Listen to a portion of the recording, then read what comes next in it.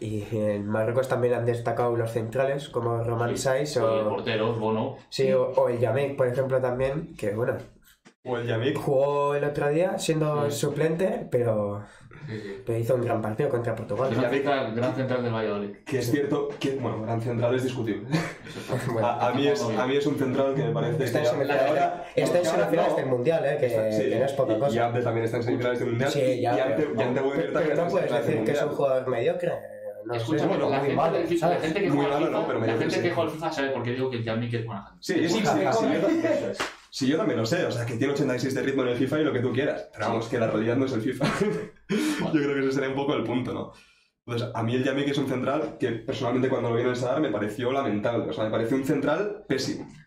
Pésimo, paupérrimo, y vamos a utilizar los adjetivos que hagan falta. O Sí. sea, Yo lo he visto dos veces, que fue contra el Sanse, que metió dos goles en propia, y este año, que bueno, que, que no pudimos meterle ningún gol al Valladolid, así que Sí. Bueno, es verdad que el Valladolid, puede dar mucho. probablemente a nivel defensivo, el partido contra la Real, bueno, es verdad que esta no es la temática, pero ahora abordando un poco el tema de Marruecos, yo creo que el partido del Valladolid contra la Real a nivel defensivo fue su mejor partido Ah, de la sí, temporada en términos defensivos, ¿eh? en el aspecto defensivo. Y ese partido lo tengo borrado de la memoria porque la reperdí. Así que es Hombre. Desde luego es partido para olvidar para vosotros.